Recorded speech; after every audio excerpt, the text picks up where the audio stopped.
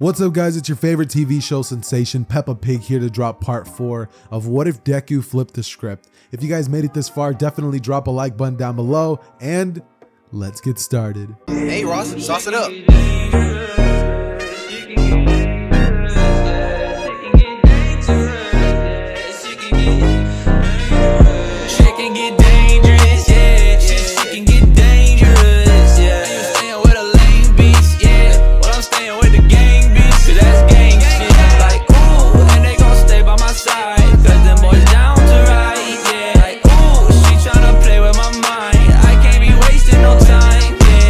Time skip. We pick up our story in a different spot than we had uh, last time. You know, obviously Izuku and Uraraka were doing their thing, but now instead of that, we're going to be starting the story off with Izuku on the podium. Now, Izuku would be looking up to the crowd of everybody at the UA Sports Festival, and he would turn to see Midnight, right? And Midnight looks back at him and she's like, Come on, you go, kid. Like, you got it. And Izuku just looks at her and he's like, Bro, Midnight, like, why are you looking so cute word? And then, you know, he proceeds to pretty much like just look at the crowd and be like, All right, so uh, I guess I'm supposed to give a speech. He looks at them and, you know, time skip speech because I don't feel like coming up with one right now. But regardless, the crowd loves it. Like the crowd literally is eating it up. And Izuku just, he, you know, you know what I'm saying? My boy Izuku went crazy with his speech, right? Everybody's all hyped up. And eventually the first event of the, you know, the UA Sports Festival would start, which is essentially the race. Now, the race would be a very, very interesting part because most of the time, my Dekus are always either so fast or so broken that, you know, they never really have to actually go through with the race. But this one, he's not that broken yet. So, you know, we would obviously start off, and as soon as it starts, Todoroki freezes the, you know, the course, right? Now, Izuku, being smarter than, you know, Tod- than everybody else, would have immediately jumped up as to avoid uh, Todoroki from freezing his shoes to the ground and he would start running, right? He starts running as fast as he can. He uses black whip tendrils to actually latch onto the zero pointers and using the grab, gra- uh, like like using the um the force of them punching and like trying to hit Izuku mid-air, he would use that to pretty much propel himself farther than Todoroki could have even imagined. And then he would immediately activate full cowling as he lands on the ground and just like my boy starts sprinting. He starts going crazy, right? And he starts running straight towards the finish line. And it would be at this moment that the zero pointers would kind of like turn their attentions toward Todoroki. Now they try to get him, but he would just freeze them and he continues going on, you know, with an angry expression on his face. Bakugo himself would be flying in with his explosion quirk, and Izuku would be towards the front of everything as he would finally make it to the area where there's a bunch of holes in the ground, and Izuku just using Black Whip would immediately be able to propel himself over the entirety of the canyon and make it where the landmines are, right? At this point, everybody's pretty much in his dust, and using 30% full cowling, Izuku would immediately be able to clear the, you know, the bomb area and just pretty much jump over it, landing on a bomb which would propel him forward, and then use Black Whip to actually um what's it called to leech onto one of the one of the poles that would be in the UA UA festival. And from here Izuku just pretty much gets first place right he lunges past and everybody's like oh yeah it's the speech kid you know like they start going crazy because Izuku he really just went off you know what I mean? And from here Bakugo ends up coming in second and Todoroki ends up coming in third place right behind Bakugo like literally not even a second after right?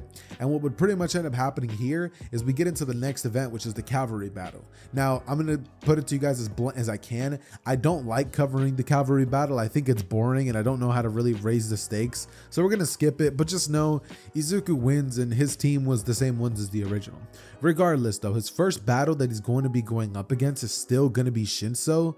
And Shinso is actually going to be having a bit of an upper hand this time because Ojiro's not going to tell Izuku, hey, Izuku, like, watch out for his quirk, you know, like, I talked to him, none of that but Izuku is going to actually move different this time. Now, what pretty much ends up happening is genuinely speaking, if Izuku has nobody to tell him, hey, like that guy has kind of a quirk, like don't talk to him. I feel like more than likely Izuku's gonna get caught by Shinso still. However, because he has one for all, just like he would in the original, it would pretty much play out just like this, where Shinso gets in the ring and would start talking nonsense to Deku, telling him how he's so blessed to have such a powerful quirk and he doesn't know what it's like to be born with a weaker one, right? Now Izuku would be just about to like pretty much talk back to him and you know, pretty much be angry, and he does say something back. Shinso would smirk and immediately Izuku would stop moving. Shinso from here would be like walk off the edge, and Izuku Izuku, like, Izuku just starts doing that. But suddenly, you know, he flicks his finger and he gets his consciousness back through the pain of breaking his entire finger. And from here, what ends up happening is Deku rushes at Shinso and says, You think it's funny to make to, you know, to win your fights like that? You didn't even land a punch. He blitzes at Shinso and a punch to the stomach as, you know, Shinso would get flying off the ring, but Izuku grabs him with his black whip and tosses him back into it as he kicks him in the gut and then, you know, finally lets Shinso fly out of the ring. So, you know, he was just gonna punch him, but like he felt like he deserved a bit more considering, you know, Shinso really thought, you know, he could catch Izuku off guard in such a cowardly way, right? Like that's the same as killing somebody in a video game when they're not looking or knocking somebody off in a game when they're not looking. Like it's just so cowardly. Like bro, like fight them when they're at 100%. But regardless though, what pretty much ends up happening because of this is we end up getting a scene in which Izuku is up next against Todoroki. Now Todoroki this time around would end up being like, oh, like are you all my secret love child? And this time instead of the reaction that Izuku would have gave him, Izuku just bursts out laughing. Like he literally looks at Todoroki and he's like, bro, you're a joke. Like get out of my face. Like I, like you don't know what you're talking about.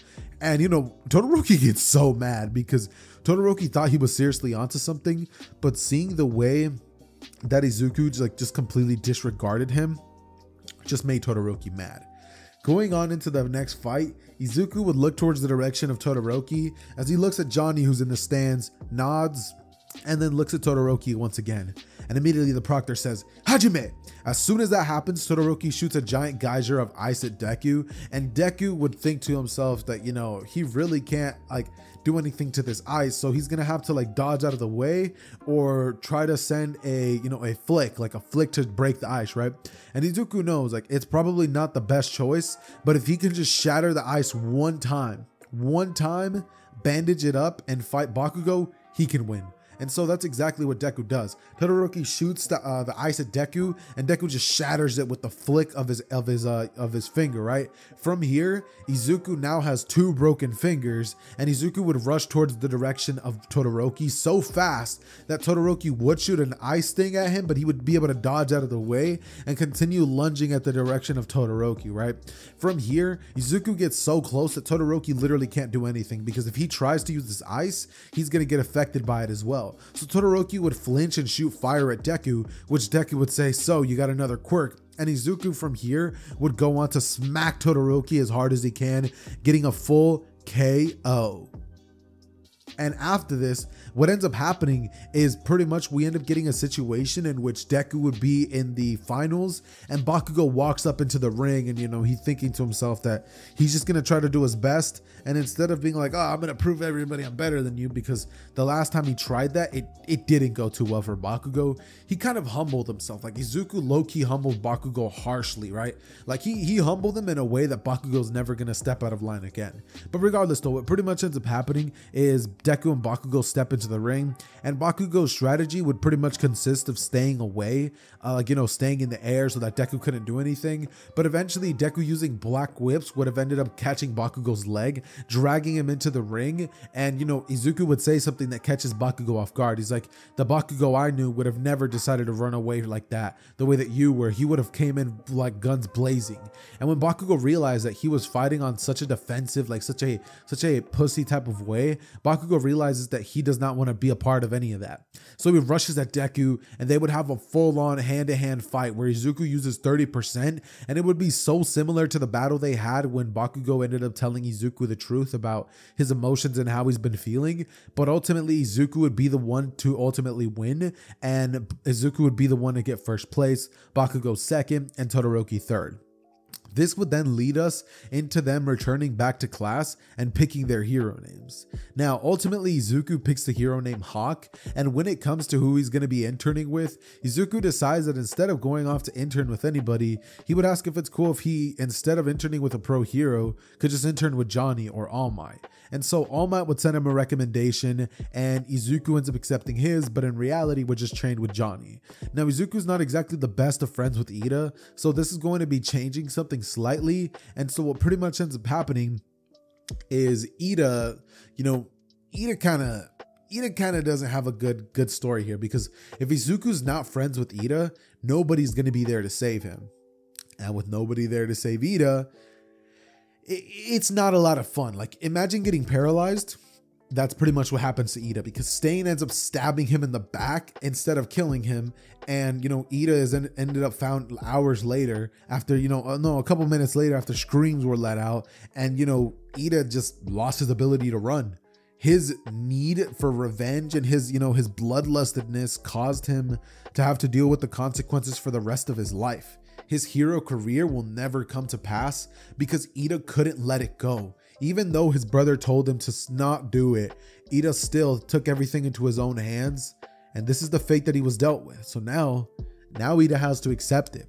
But cutting back to UA, UA would be under uh, like like a bunch of like back backlashes due to the fact that one of their students got injured really really bad, and Iida would actually come out publicly stating the real reason why he got hurt. So UA ultimately ended up closing down for about two weeks, but they would open back up once everybody finished their you know their internships. And what would end up happening is they returned only to have their uh, their final exams. Right now, during their final exams, because Izuku and Uraraka have been studying together, they both ace it, right? The written portion, easy. And when it comes to the teams that everybody's going to be put in, I still think that um, Todoroki is going to be paired with Momo, and Izuku is going to be paired with Bakugo, just because they they still kind of don't like each other. So UA decided to pit both of them together to see how they would work after everything that's happened between the two of them, right? And so what pretty much ends up happening is they're both ultimately having to work together with each other, and even though they don't like each other, they ultimately end up having to kind of squash the beef for a moment, right? And you know they end up pretty much actually making a pretty good team, regardless of how much they don't like each other, right? What they end up doing is having Bakugo rush in at All Might and blind him using his gauntlet explosion to catch him off guard, and Izuku would be the one to come in and land an attack on All Might, which would be a pressure point. And Izuku's really bad at pressure points, but he would be able to land it on All Might, and All Might's arm would be out of commission. From here, All Might throws a kick at Bakugo, which he wasn't expecting, seeing as All Might doesn't fight like that. And Bakugo notices that All Might fights similarly to Izuku, so he was able to dodge it just barely, right by the tip of his hair and All Might continues trying to face off against Todoroki and Izuku. Now, the fight would continue going, and Izuku ultimately ends up landing a powerful 30% blow on All Might's face as Bakugo comes in and shoots a massive explosion at him, right?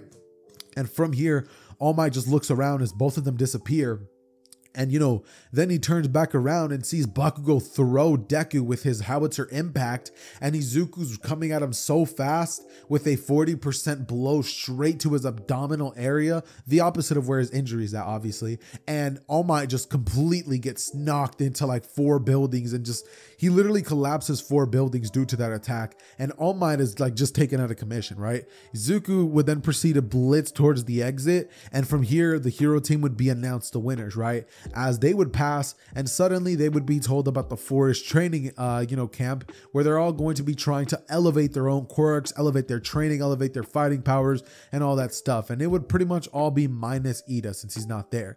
The new class president would actually end up being momo and the one who would be like the the one who's behind her. I think i think if like i had to pick i'm not gonna say it's deku but I do think that a person who would probably come into that role pretty easily would be somebody like Mina. I think that Mina would come to that role easily, right? But regardless, though, what ends up happening is they get on the train and you know they make their way towards the forest training camp. It, it was actually a bus. I, I, I lost my train of thought. But regardless, though, what ends up happening is they make their way towards the area, and once they arrive, they would realize like, hey, hey, hold on now, buddy. Like, th- like we're not there. Like it's still like a, a, about two hours away.